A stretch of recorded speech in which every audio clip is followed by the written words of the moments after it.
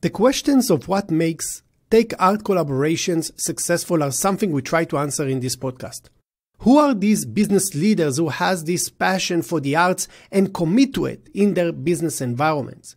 Today's guest, Dr. Uli Schmitz, will speak about how he connects artists and techies, why it is essential, and why we should rethink the measurement of art business initiatives. Let's start. We are being told to choose between the left and right brain, between studying art and engineering, between creative and analytical thinking, our society tells us that art and business are not connected.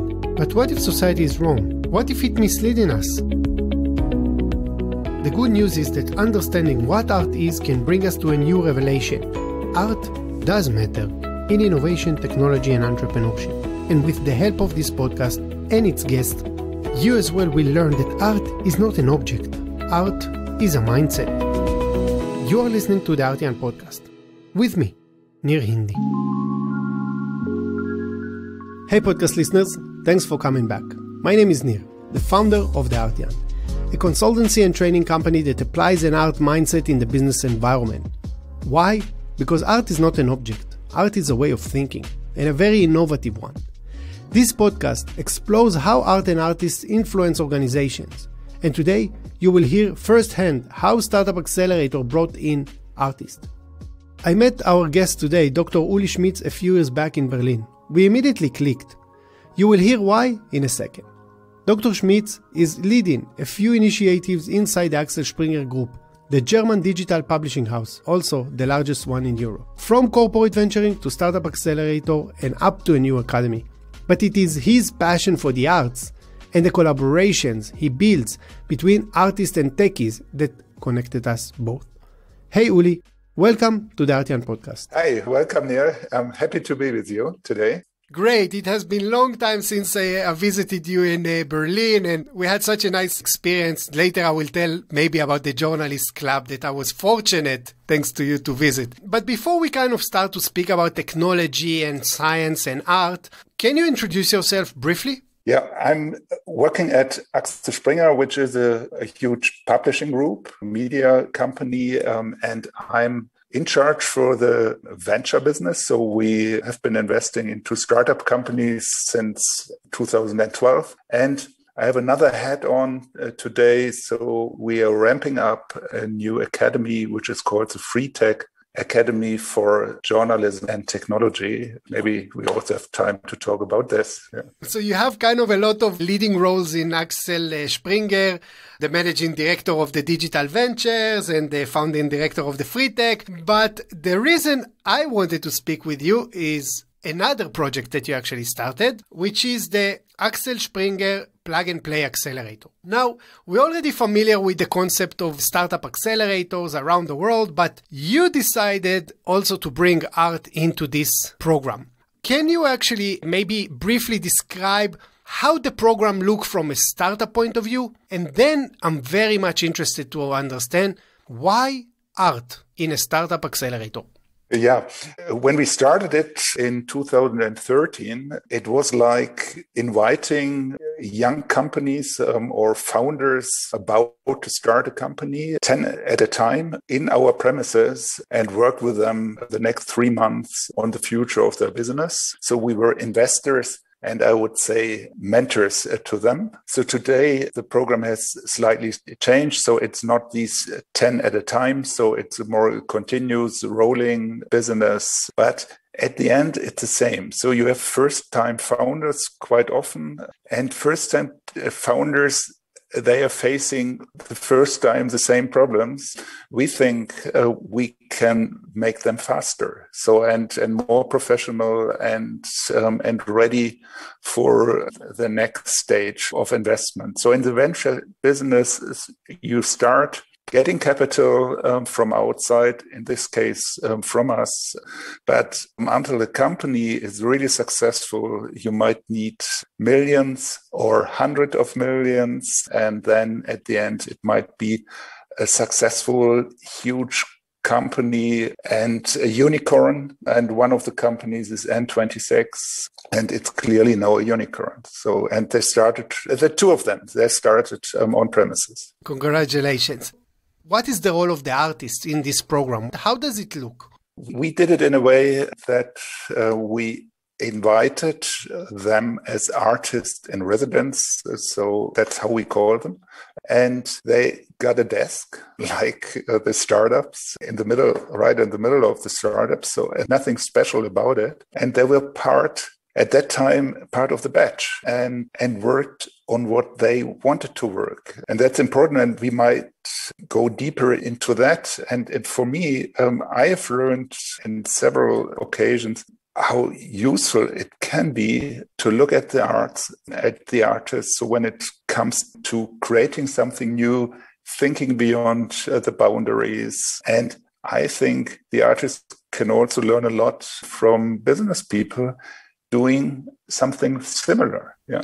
So I'm very much interested, Uli. You have a scientific background. How did you find yourself in the world of art? Oh, that's that's an interesting question. I studied electrical engineering, and it starts quite abstract, so it's, it's a lot of theory. Um, I was lucky; I found my place at, at an institute which was very much into the methodology of development on mechanics or uh, micromechanics, electronics, and software. And when it came to creativity, uh, creativity methods, it's not so far to, uh, to, to, arts, and art gives you a lot of inspiration. And that was one thing. Another thing was, so I thought, well, I also need to buy arts. And I had a had a job and wrote for a trade magazine. So earned some money with it.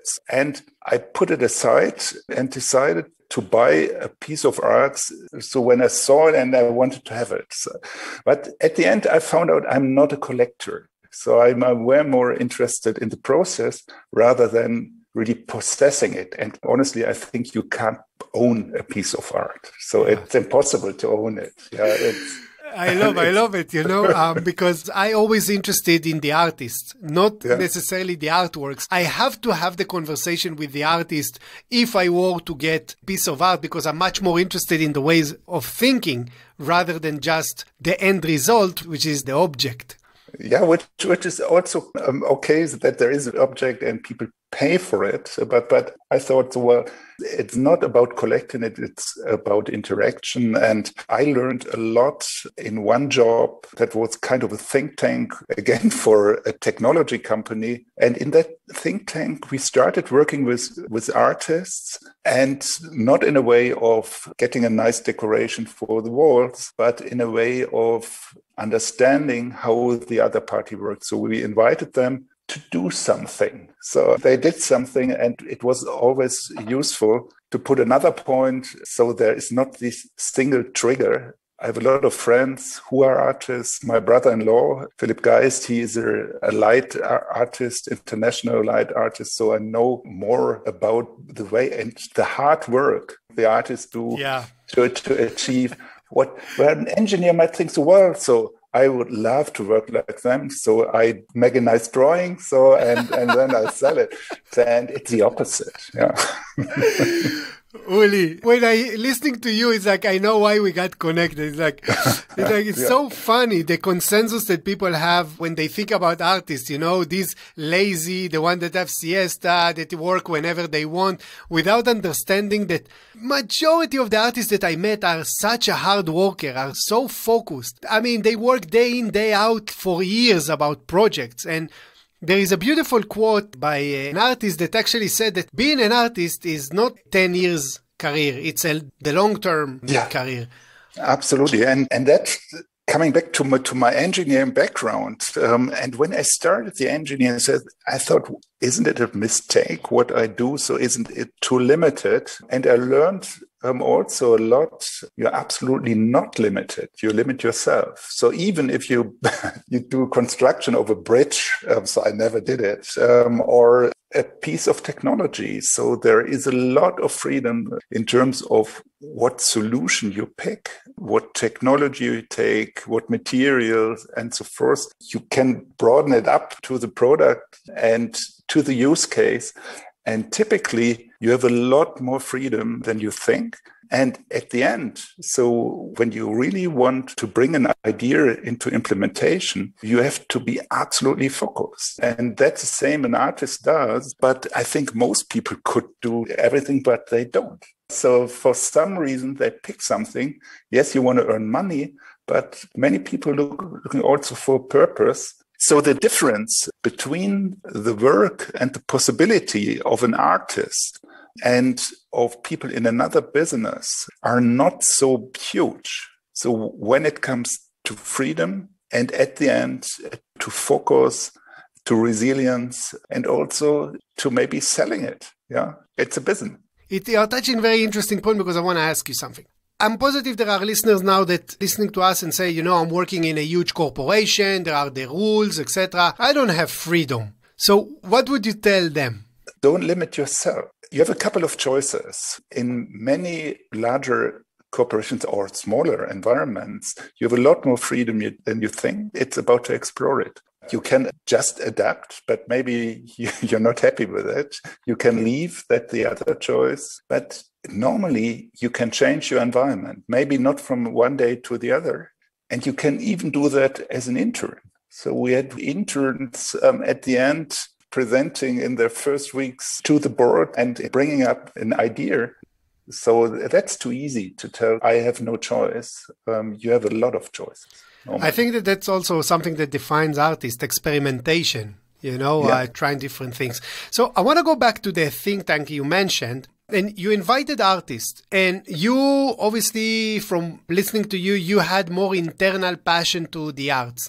I wonder how artists influence or not your colleague in the think tank? How did they respond to the fact that artists are there? For me, the most surprising aspect was as one colleague at a time was very much in technology and um, you could literally only talk about technology with him so and he connected so close with the artists and he became kind of a promoter of the idea and what i've learned is that people, and I'm including myself, need maybe more ways to get in touch with arts. And once you get in touch, be touched by the art. You might not understand everything, but you feel it and you feel something. So, and you get an inspiration or it gives you food for thought or for discussion. And uh, for me, it was something I wanted to bring more people to it.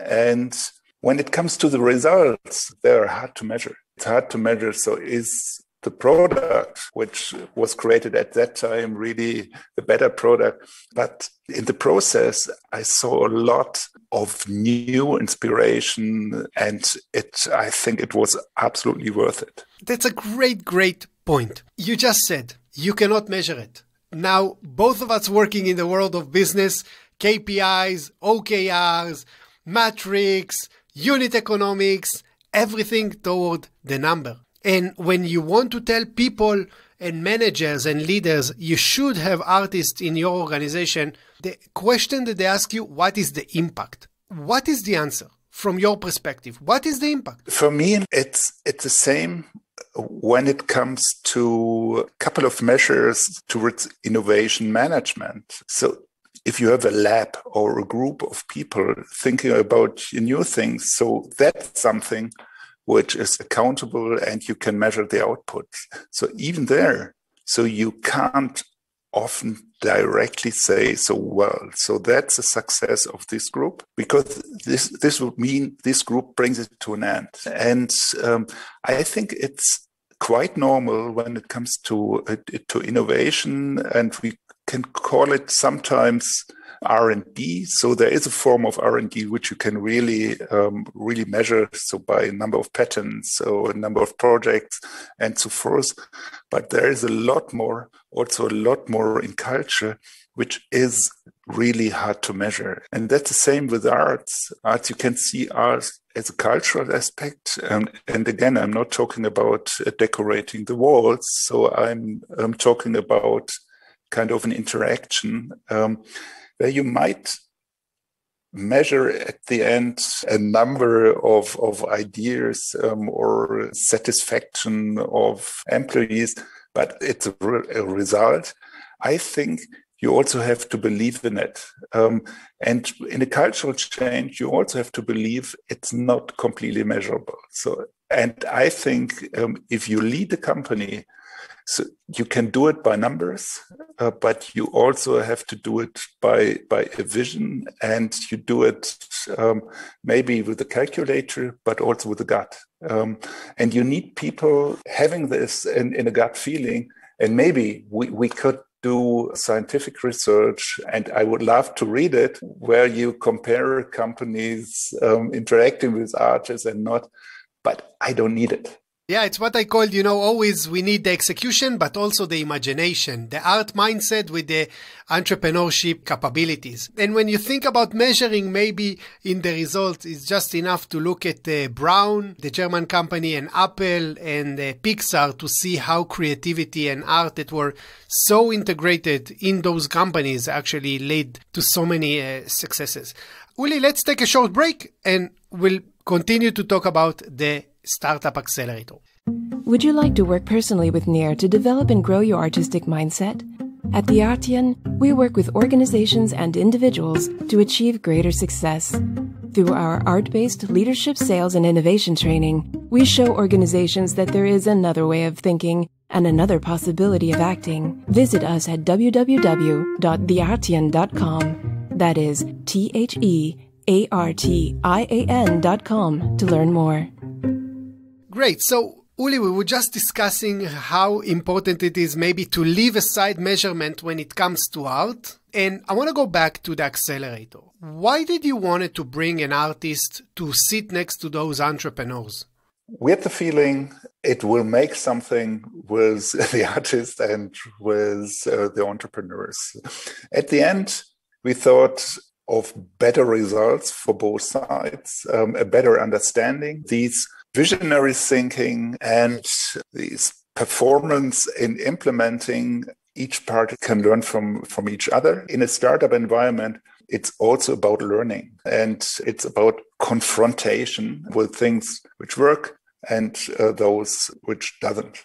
So we were so convinced that it would do something and yeah well we just wanted to do it and figure it out.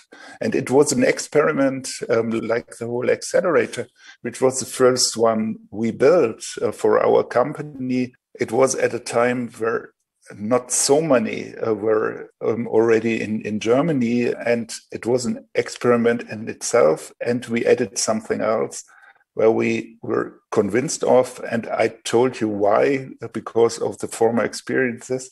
And we had another thing. So we, we took um, an office um, so, which was used by an artist as a workshop, and he also left something. I think um, we would have had another, a completely different start without him. And um, you were there, I think, um, also in the accelerator, so it looked a bit wild. And it was absolutely no decoration. And we leave everything and it did something with the people. And then we professionalized it somewhat. And there's another interesting point. When we started it, we didn't know how. I never wanted to come in the situation that we cast artists so as art interested people so and this, that you say so well so this picture looks nicer than the other so let's in, invite this or that person so it was important for us to professionalize here. So we were professionals in terms of, uh, yeah, working with startup companies, having the pitches from them, so judging and decide in whom to invest. And we wanted to be as professional with the artists. So we teamed up uh, with the gallery, so Eigen + Art Labs um, here in Berlin, and they helped us a lot in finding artists and it was a great dialogue at each batch. Yeah, I remember that when I visited you, you mentioned uh, an artist, uh, Liat Segal, that actually was part of the accelerator, and she was also a guest on this uh, podcast, actually in the second episode, and I asked her uh, specifically about her experience at Axel Springer. Let's hear what she said about that. Okay, yeah. It was first an incredible experience from two directions. The first one is just as an artist, I think that most artists that do this project don't come from a technological background and still have this beautiful conversation with people that come from places that are different from them. I really loved the people that I worked with. It was a really a beautiful mutual war to fight, you know? So that was one thing. But generally speaking, I can say that this environment that makes people from different discipline with different motivation work together at most of the time you don't have a lot of conversation about the art or about the startups you know? Like people do what they do. But just being there and speaking about life and getting to know each other makes some difference because when startup people talk to startup people they will speak mostly about tech. And when it's an artist that suddenly is a bit an outsider to this, the, suddenly the, the environment the changes. Yeah, shifts. it shifts exactly, and it creates something else. And I think that that's one of the most, the greatest powers of having an artist in residence in a very technological environment. Uli, I'm interested. What surprised you the most about having an artist with the entrepreneurs? Because you already had experiences. So but now you see them from the outside in a way. Yeah. How normal it is. Yeah. And an artist is also a businessman or businesswoman. So and and they sit there and work um, or do their work like like the others. So it's on one hand the normality, on the other hand it's the observation of the artist regarding the work of the, the startups and vice versa. So they see different aspects. Then they have to find a language. And as I said before, it's also interesting to whom people connect. And there are a lot of surprises in it. And I think it's it's a full mixture. So some it was maybe just another person in the room, yeah. which was an odd or crazy business. Yeah. But that happened between the startups as well. So and and for others, they were really interested in it and tried to learn a lot um, of it. And there was this idea, I think, in terms of freedom of thinking, that you can learn a lot from, from artists, um, but you can also a lot in terms of um, hard work and dedication to a specific goal. You can learn a lot about values and the artists can also learn a lot about performance um, from the others, and in many cases about marketing. So that's some uh, one thing where I think many of the artists have a problem with it. Uh, so with telling a price or selling it um, or even talking about it but I think it's important and there's nothing bad about it. Yeah. When I spoke uh, with Liat, she mentioned she also needed to present in the demo day, like the startups. Absolutely. And one of the things she did for them is a kind of a workshop on Arduino because she worked with technology. So it's very interesting, this intersection. Um, one of the things I find odd is that we still think about artists as painters.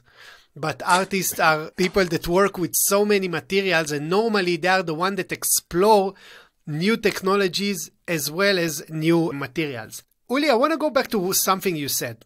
When I asked you about what surprised you about the artist and entrepreneur, you said it was normal. Yeah. And my question for you, Uli, is if it's that normal and you and I believe it's normal, why the business environment and technology environment still separate? One thing is uh, still the accountability. So it's hard to measure. So you, you need a certain belief in it. And another thing is, I think there are still a lot of people who need more access to art and understanding beyond the piece um, on the wall or on the screen. And, and that's something it's you always find people uh, being interested in art in arts but but even they uh, sometimes don't dare to bring it to business. So there is some barrier which i don't understand. It might be it's it's sometimes the same in music. So with with classical music and maybe um, pop rock so there is maybe also some barriers so, and for some the business is classic and the other is pop and it could be also the, the other way around and it's ridiculous at the end but I think it's a step by step approach. So, and I'm really uh, glad that you took on this, also this role to bring it to business and, and see that it's not about being funky or meeting the zeitgeist so that you have to do something um, or that you have to come uh, to outperform another collector. It's something which has to be taken uh, seriously. And, and that's well, maybe we have to bring it to the business schools as well. Yeah, which which we did uh, by the way once. So that was a funny yeah project. So I gave a lesson at that time at the um, RWTH Aachen, so which is a, an engineering university um, on development of product or uh, product innovation, and we teamed up with with another engineer who was also an artist and we had a lesson on it. So we compared the work of an engineer and of an artist. So, and he, because he was both, he was a great role, role model for it. But I think that was just one afternoon. But I think we need more of these afternoons. Yeah. First of all, I think you will be happy to know that uh, one of the podcast uh, guests is Danica Purg, and she is the founder of a business school in uh, Slovenia that actually integrated art from 1985. She already oh, wow. integrated. Yeah. yeah, she's a great model. So I want to continue because I think that if business people or professional or leaders will understand that art and you said it beautifully. It's about learning about values. It's about vision. It's about inspiration. It's about dedication. It's about focus. It's not about putting a paint on a canvas. All of those things. So I'm now business professional. I'm a manager. I'm listening to you. You convinced me. Now I want to ask you, what are the tips you will give someone that want to bring artists into their organization in order to make it a successful collaboration? What are the things that you think are important from your experience doing it so many years? Yeah, take it as serious as your business. So that's one thing. So don't even think about having a playground um, or something like that. And on the other hand, is allow yourself also a trial and, and error, like in business, and an openness, and to find your own way. And I think that's the same when it comes to innovation, disruptive innovation. So I'm not talking about the daily improvement. I'm not talking about the next product generation. So I'm talking about disruption. You can't plan it and there is no a role model which you copy and paste, find your own way. So, and find somebody supporting you that can be in our case, it was a gallery. And then we went our first step, but you do the steps, but you do the same when you start a dis- disruptive innovation project, when you do it right. And don't stop it after the first attempt. So continue, learn. It's a continuous uh, learning. And that's the way, way I would do it. So I would watch out for somebody supporting me in that case. And we did the same. Yeah, we, we had the idea, but it wouldn't have happened without the guys from the Eigen + Art Labs. Yeah, so they helped us so, so much. Uli, you're kind of an example to what I always say. For me, there is no such thing innovative and creative companies. They don't exist. For me, there are only innovative and creative people that build innovative and creative right. Companies. And I always say that every time you will see a creative company, there is a first name and last name behind it. It's not the organization. It's specific people that set the vision to shape these companies as such and actually go and get it. And I think everything you mentioned is like straight to the point. Take it as a serious as business, trial and error, openness, find your own way. You cannot plan it. That's why it's so funny for me when people tell me, yeah, we are planning this innovation project and we know uh, how, if, if it's, you're already planning it, so it's not innovation. Someone did it and you just follow the steps. So many great advices. I want to speak with you now about your new initiative, the FreeTech Academy. What is this FreeTech Academy? And why do you think we even need one? It's a part of our transformation process. Um, Axel Springer when I joined it, it was a, mainly a print publisher. Over the last one, two decades, it, it transformed into um, a real digital business. And in the digital business um, is driven by technology. The problem was, and in many cases still is, mass media always was technology. And so the, the tech understanding, it's everywhere, but it's not that present. We wanted to, to make it more present. And Axel Springer, yeah, gave itself a claim. So being a, a, media and technology company. And we have since long, uh, for the media part, um, for the journalistic part, a very well known uh, journalist academy, the Axel Springer Academy. And there, people had the idea so well, so then we need a tech uh, academy. So we thought about it, well, that might be possible, but there, you, if you want to study tech, you can do a lot outside. Um, why building it? And while thinking about it, um, we thought it's again bringing people together. So we talked about bringing artists and, and entrepreneurs together. And here, I think when it comes to the core media part, it's also about to bring journalists and tech people together. So they work together, but they often have even difficult to, to find the right language to talk together and create really on eye level the media of the future. So, and and that was the idea to, to bring it um, together. Why it's called FreeTech? It's not to get technology for free, um, and and um, I think if Axel Springer stands for one thing, then it's standing for freedom and for free press. And with people who give their freedom for it, who give their lives to fight for it. And we thought, well, it's not about another form of education. So you find a lot out there. We want to bring people together to work on freedom, to help others to make freely the right decisions. I think journalism stands a lot of for it, but also technology. So and and then we we didn't name it John Tech. so we, we took FreeTech, and it's about to bring these groups together and not in a way, and that might be a similarity to the artist in residence and um, the entrepreneurs. It's not that the entrepreneurs learn painting, so or the artists um, write business plans. Um, and here it's not that um, all journalists can uh, do coding and the coders write um, or do videos.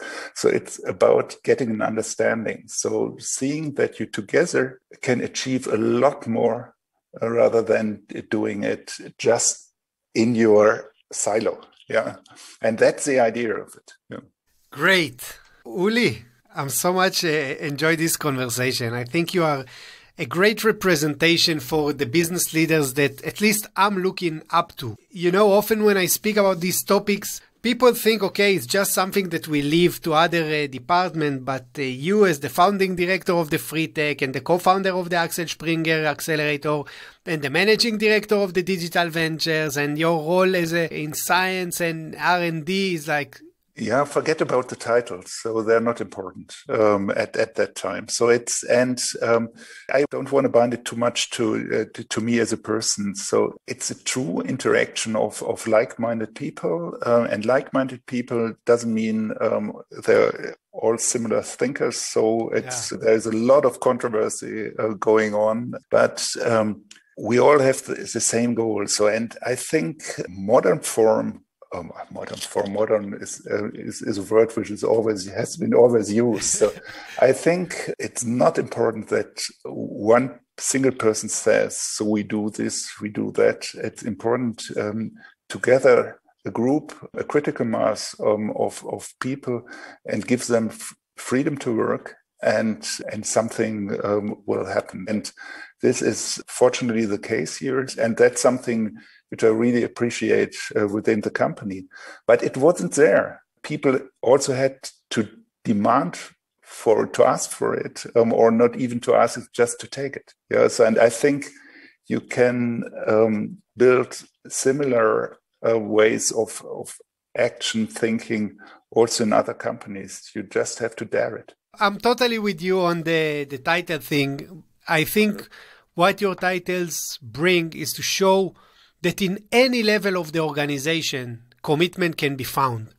It's just a matter of decision. To say that I take it, just as you said, as a serious business, understanding that it's important to the people, to the environment, to the culture, to the inspiration, to the vision. All of those things that we cannot measure, but we are so much want them and so looking for them.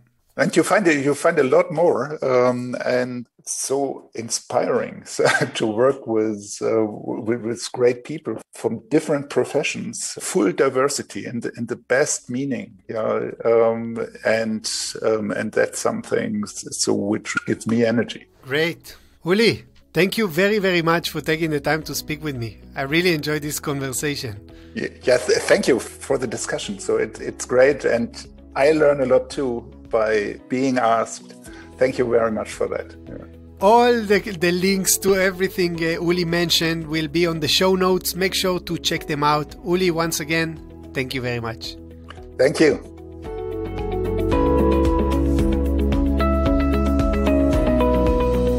I really hope you enjoyed this conversation with Uli, as I did.